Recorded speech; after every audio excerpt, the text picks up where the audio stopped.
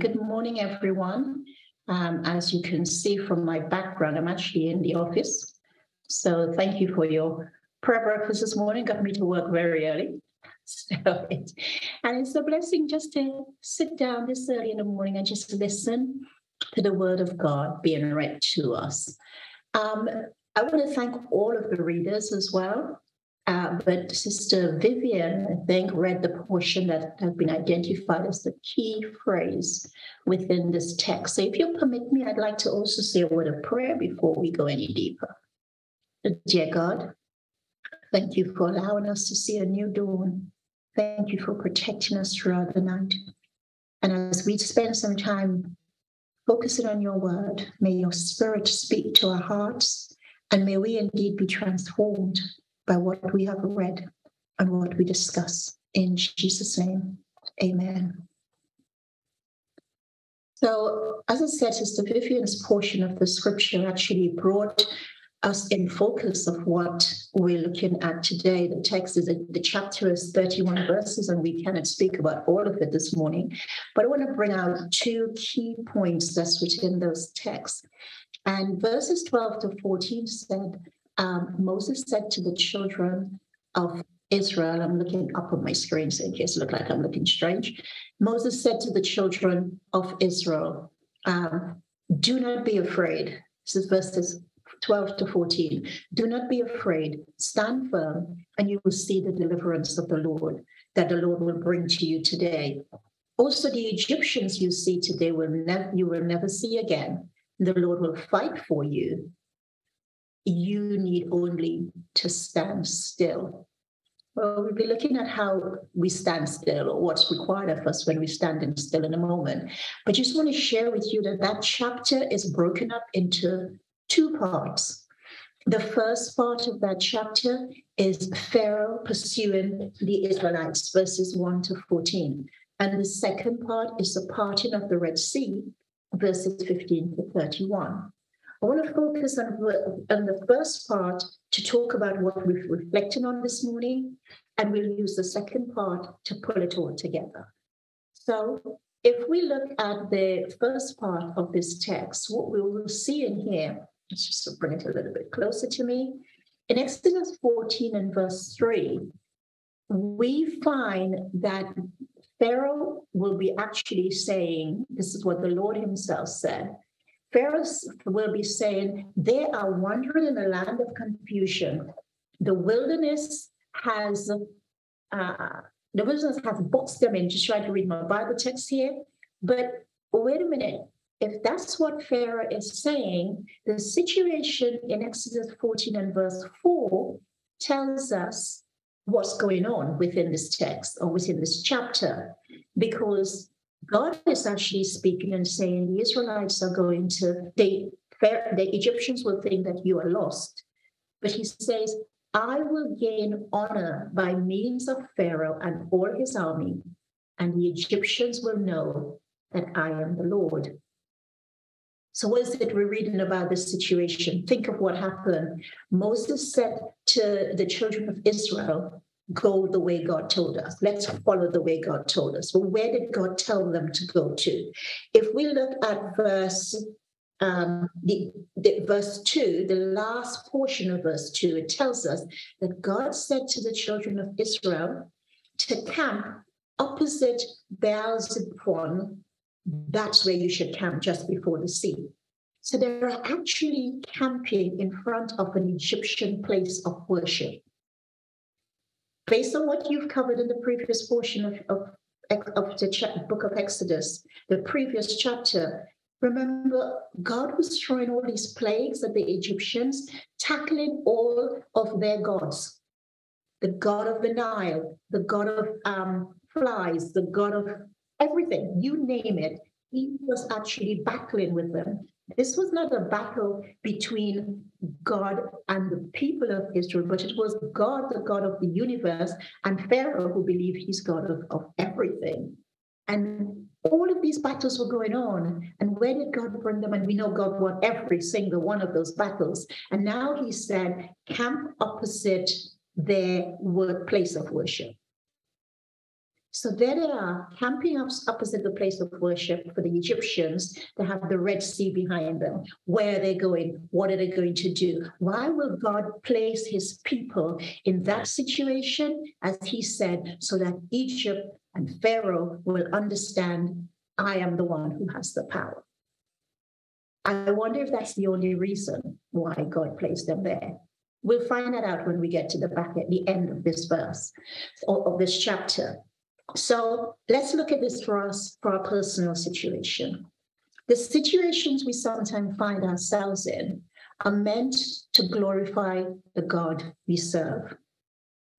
Even when we are the ones who cause the calamity, even when we are the ones our behaviors cause us to be in this situation, and the consequences of our behavior means that our backs are against the wall, or as we've been studying this quarter, we are in a crucible.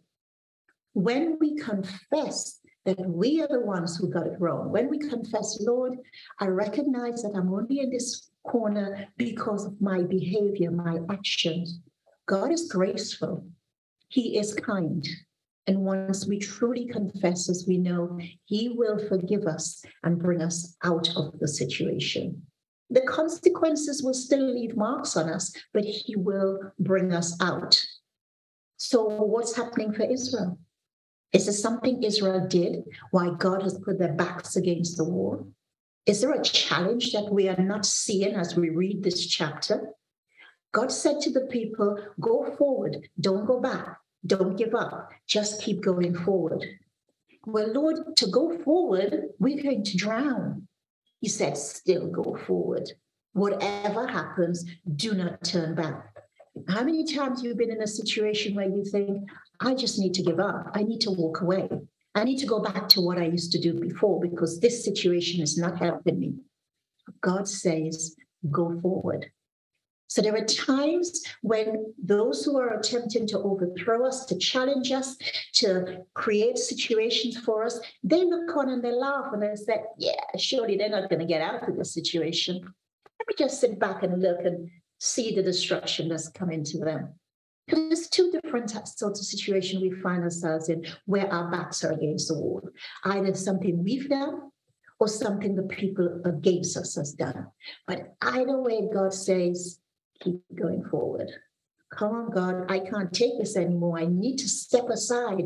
You say, No, I don't want you to step aside. There's some learning that needs to come out of your situation. So, who's learning? What are they learning? Our faith may waver, but until the Holy Spirit comes through and break through our despair, we will not remember that God is in control. We need something to open our eyes and say, God is leading in this situation. So when the Israelites' faith wavered, Moses said to them, as we saw in our key text, don't be afraid, stand firm. You will see the salvation of the Lord and you will you see what he will accomplish in your life today. The Egyptians you see, the enemy you see, and the problems that we have, all the situations we find ourselves in, God is saying to them, You will never see this again. The Lord will fight for you. You only need to stand still. Now, that's encouraging. Most people have the idea that to stand still or to wait is just do nothing sit back, fold our arms, and wait for God to do what He needs to do. But that's not true. This is not what the Bible means when He say when God says wait, when He says stand still. It's to stand still or to wait in the Bible from God's perspective is an action verb. To stand still, it means that we now need to be alive in our faith during those difficult times, we need to trust God. He will bring us through the problems. He will bring us through the trials. He will bring us through the, the, the tragedies that we're facing. So I still wonder who is God teaching a lesson to in this chapter?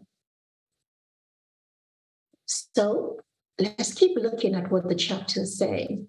For the Israelites, it looks as though they are not gaining any ground the more they move, they go forward, it's the more they, they would lose as far as they can see. They think that they're on a losing path, but God is saying, no, you're on a winning path. But there's darkness, there's water, there's problems. Keep going forward. So, in those two parts of the text, chapters one, chapter 14, verses 1 to 14, we see what's happening for the Israelites. We see Pharaoh's pursuing them. We see that there seems so there's no way out. And the chapter tells us that God sent them in this situation to see that so that the Egyptians will see God's intervention and they will, ex- they will express their conviction that the Lord God of heaven is fighting for Israel.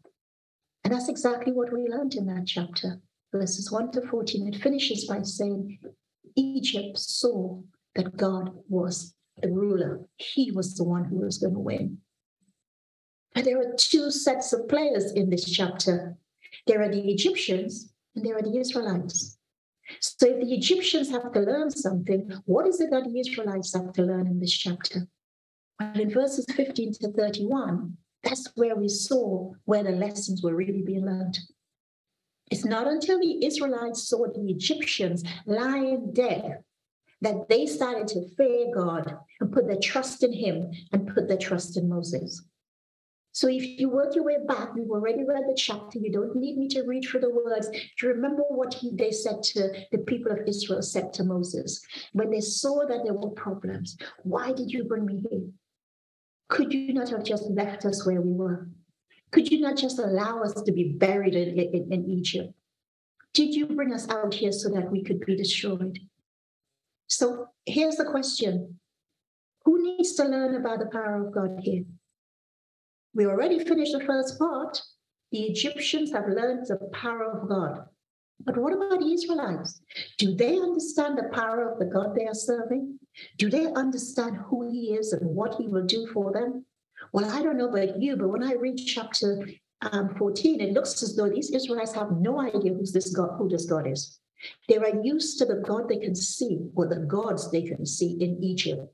They were there for 400 years. They have forgotten, and some of them have never even understood who the God of Abraham, Isaac, and Jacob is. They never really had a relationship with him to understand his power.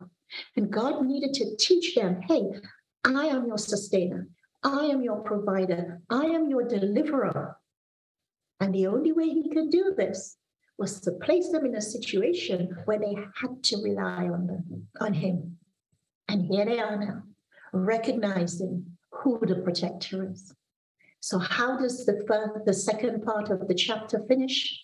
In if you look at verses 30 to 31, having come up against their back against the wall, having been brought through the Red Sea, now the Israelites have learned their lesson. So the Lord saved Israel that day out of the hand of the Egyptians. And Israel saw the Egyptians dead on the shore. Now there's a transformation.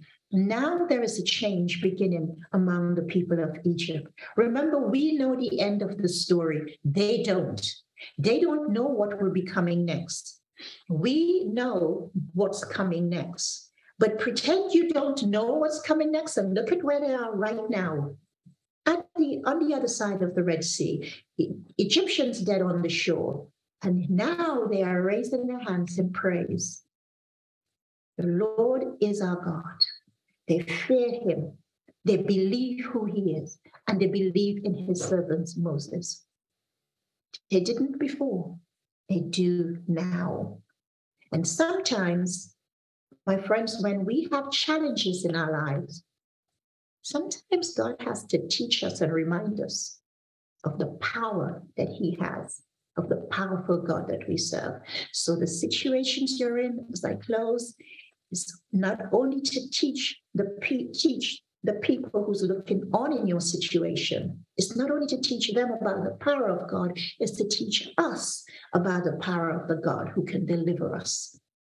So don't see your situations as something that other people has placed us in. Ask ourselves, what can I learn from this situation? Okay, so chapter 14 of Exodus has so many strong points. You raise them in your discussion. But every time we read the Bible, it needs to do something to us and for us. It needs to transform us. We cannot walk away just gaining more knowledge and having learned something for ourselves and behave differently because of what we have learned. So I mentioned to you about a couple of the learnings in there. Matthew Henry, in his commentary on chapter 14, said, It is a righteous thing that with God to put those under the impression of his wrath who have long, me just make sure I get the right, who have long resisted the influences of his grace. It is spoken in this way of triumph over the obstinate and presumptuous rebels. Oh my goodness, that's a harsh thing for Matthew Henry. He's saying that we can say on the face of the verse of the of the commentary that he's saying that the Egyptians were obstinate and presumptuous rebels. But as we learn to the end of chapter 14, the Israelites were also obstinate and presumptuous rebels. Okay, before you clash, you know, say to me, come off the screen, that's not right. Look at what happened. Sister Joanne was saying when they were walking through the Red Sea, were they scared? Did they think the water were crashing on them at any time? They just saw God perform so many miracles in Egypt. They just saw him send all these plagues on Egypt and they were spared. So they knew they were selected specially by God we know we are selected specially by God. We've seen the miracles in our lives, but yet still we remain obstinate and we remain rebellious. God forgive us. So the chapter began with the Egyptians learning about the Lord in verse 4 and learning about his power, and it closed with Egypt, with Israel learning about the power of God bear in mind what happens. Bear in mind what happens. As the chapter closes, it shows that it wasn't until the Israelites saw the Egyptians dead on the shore. My friends, what would it take for us to truly believe in God? What exactly are we waiting for before we will fully believe that God is a mighty God? Let us not wait to see total destruction of others. Let us recognize from now that when God places us in crucibles and difficult situations, it's not to destroy us, but it's to grow us. It is to grow us like He grew the people of Israel. Yes, we know, because we know the end of the book, that they will still rebel. They will start making noise again. They will give Moses a hard time. But sometimes God has to remind us that when He places us in the situation, our transformation means we cannot be the way we were before. When He selects His leaders, it is God who puts our leaders up and it's God who takes them down. When He selects His leaders, it's not for us to rebel against them. God had to put Moses right there in the limelight as one of the sisters shared. He wasn't afraid to share his leadership. He placed Moses in that place, in that situation. So the people of Israel, though they were not looking to God at that time, they would look at his servant. And sometimes that's what happens. Because we're not looking high enough, he placed the leaders in front of us so we can learn from the leaders. So I know there are leaders on the screen at the moment, and I want to say to all the leaders, my fellow pastors and elders on the screen, and leaders of departments, we are sharing a limelight with God. He has blessed us to give us that opportunity. But remember that our trust is also important in, in what God can do. Let us not rebel against Him. Let us not rebel against his leadership. Let us, all the people he's chosen, let us learn and be transformed by what we have read in chapter 14. Just like the Egyptians learned and were transformed, and just like the Israelites learned and was transformed. God bless you as you go through this day and the continued readings. God bless.